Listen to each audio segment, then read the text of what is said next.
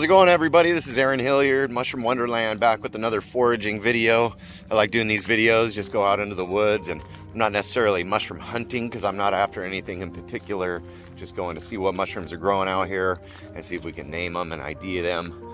And uh, I try to keep it fresh so I don't repeat the IDs too much in my videos, but some mushrooms are just so interesting that I they show up in a multiple of my videos. Just having fun out here in the woods of the Pacific Northwest, uh, Western Washington, just about 200 feet above sea level. And it's a beautiful Northwest fall day. It's pretty crisp out here. And uh, we're just gonna take a walk in the woods. Let's go see what's growing out here today. So thanks for watching Mushroom Wonderland. Hit subscribe, hit that like button if you're getting value out of these videos. And I hope you continue to watch these foraging videos. I am a trustee on the Kitsap Peninsula Mycological Society, and a couple days ago I was nominated for vice president of KPMS, which is pretty cool. I'm also the creator of Mushroom Wonderland here on YouTube and on Instagram, and I've been picking mushrooms in the forests around here for 30 plus years. And yeah, I'm only 41 years old, but so pretty much since I was a kid, I started picking mushrooms. And uh, so let's check out what we got growing out here.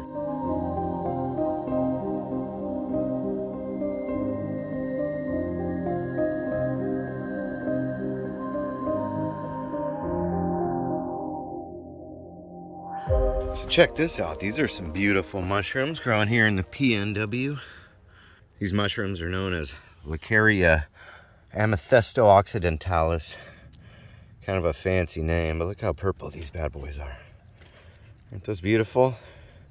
So Laccaria is a somewhat common woodland mushroom, a mycorrhizal mushroom here in the Northwest. And uh, these are one of the prettier ones. The more common ones around here are Laccaria laccata or Laccaria bicolor. But the Amethysto occidentalis has this purple everywhere. So the top of the cap, under the gills, and the stem are all this beautiful amethyst color. And you can see why it gets that name. So Laccaria, it's sort of a waxy feeling, dry type of mushroom.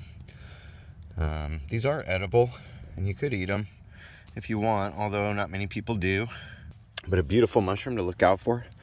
And when I say mycorrhizal, that means that it grows in association with a tree. Usually it's these conifer trees here in the Northwest that they grow with. And uh, these ones probably liken this fir tree, these fir trees right here. And uh, But a beautiful photogenic mushroom, great one to take pictures of here in the PNW. Laccaria amethysto occidentalis.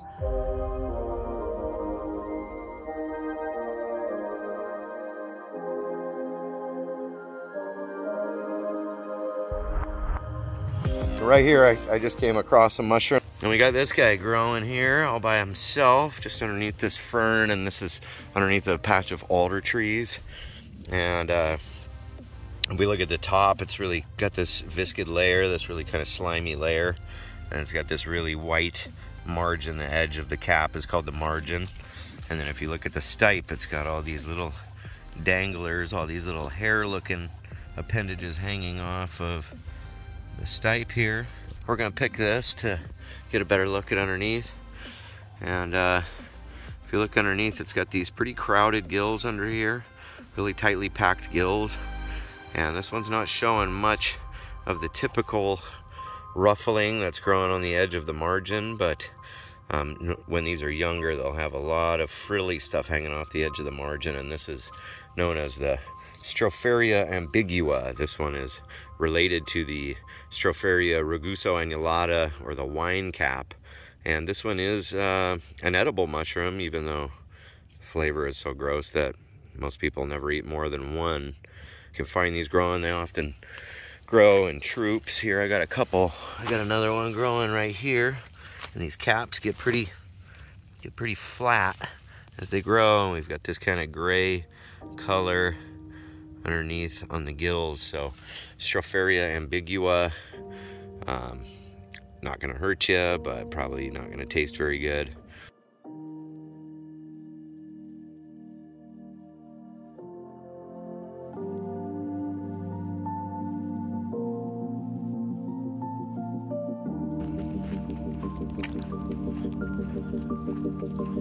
He's sniffing for truffles. No, I'm just kidding. He's not. He probably smells a raccoon or something.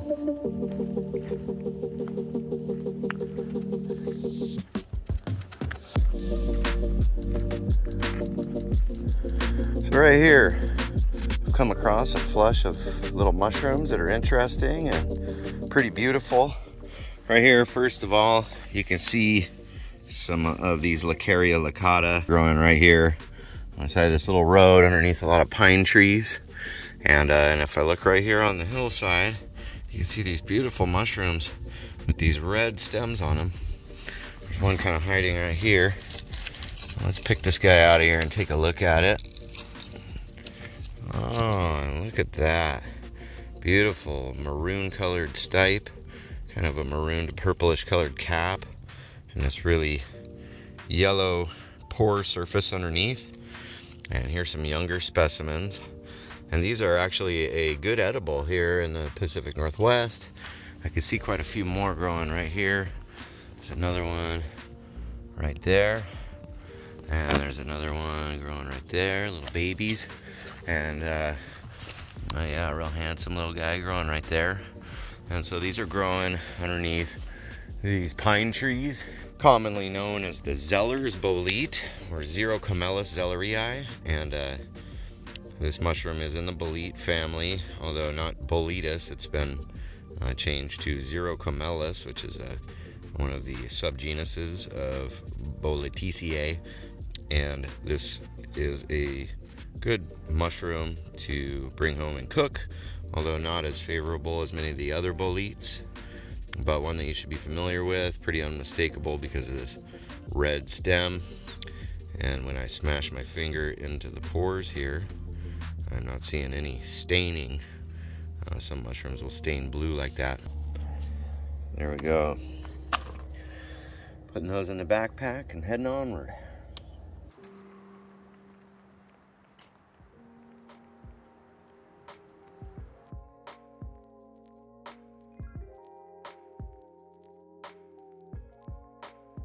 Okay, so I'm walking along in the forest and this really bright color catches my eye.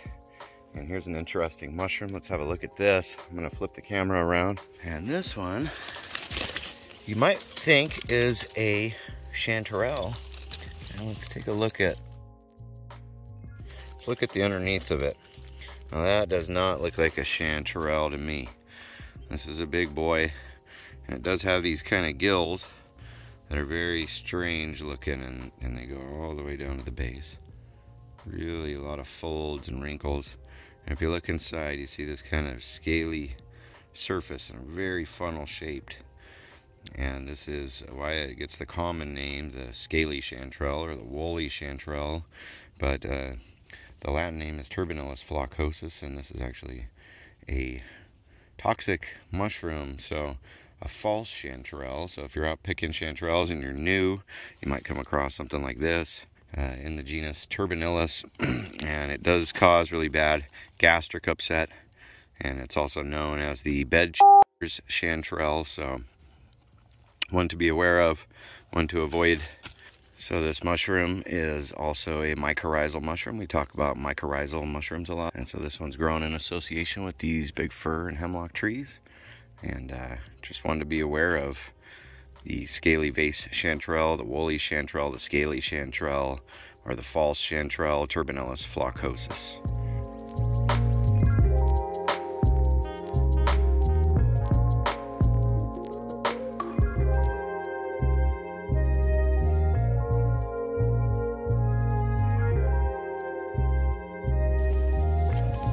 Look what we come across here.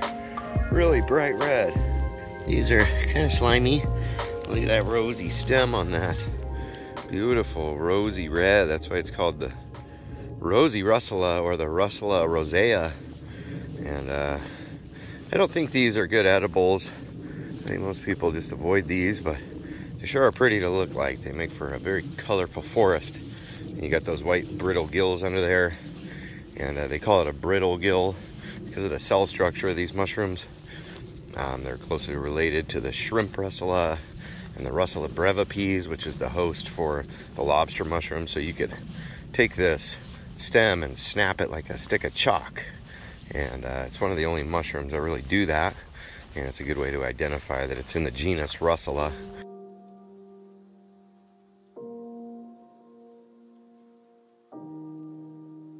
Alright, coming down the trail and I come across some pretty cool mushrooms right here. Check this out, folks.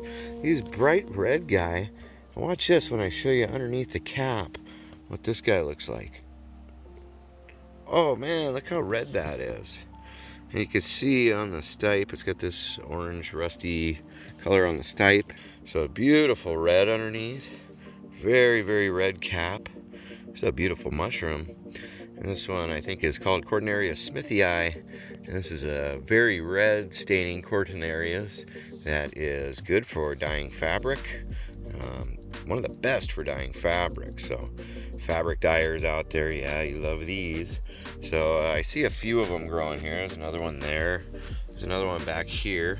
And uh, I'm gonna pick these and save them for dye and uh, give them to one of my dying friends uh, after I take a couple pictures of them because they are a beautiful, beautiful mushroom. So Cortinarius smithii, the red dying Cortinarius.